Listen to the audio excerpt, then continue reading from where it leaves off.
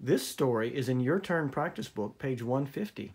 It's a shared read, the genre is expository, and just like yesterday, I want you to read this before you come to reading class at 9.15 today.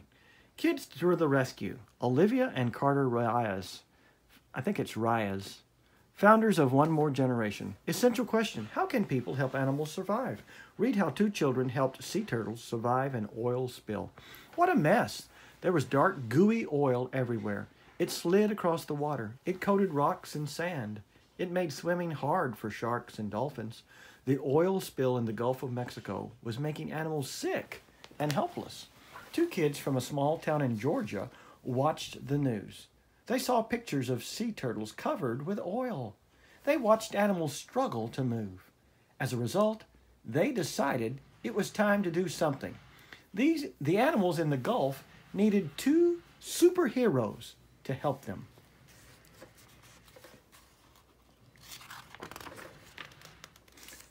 Olivia and Carter to the rescue.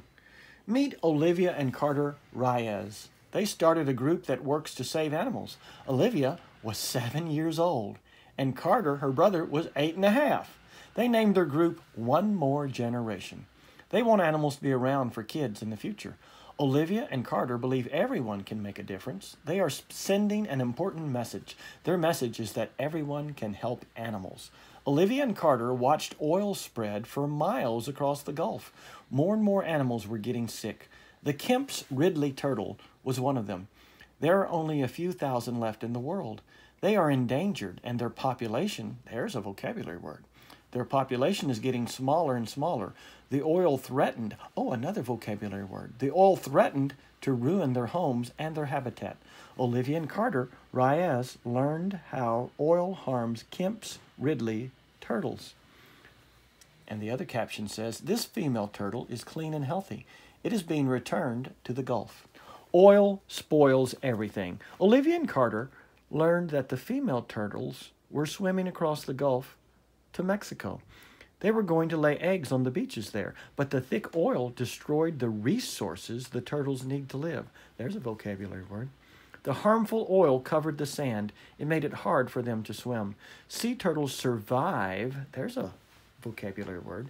Sea turtles survive by eating seaweed, jellyfish, and small animals. The oil spill spoiled their food too.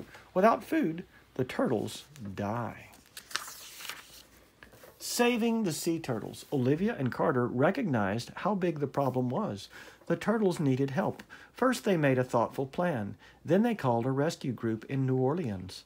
They found out that the workers needed useful cleaning supplies and wipes.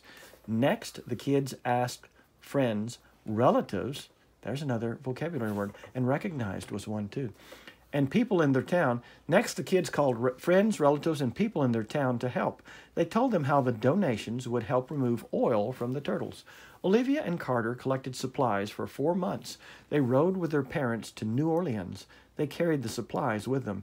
Then the kids watched caretakers clean turtles, clean hundreds of sea turtles. There's a vocabulary word. With the help of many people, the turtles were soon spotless. Olivia and Carter's plan worked. It was a huge success another vocabulary word. And it says going to New Orleans. So they started in Fayetteville, Georgia. They went through Alabama all the way down to New Orleans. I've driven on some of those roads that go down there. Here's the Gulf of Mexico. And the key, this is a city, that big star, and the route is the dotted line. And look, here's Florida. We're right there. Keeping busy. Olivia and Carter work with many other groups to help animals all over the world. They give talks at museums and schools. They ask community leaders to support laws that help animals. They help rescue animals in danger. Olivia and Carter are truly superheroes to endangered animals. With their help, many animals will survive for one more generation. That's the name of their group.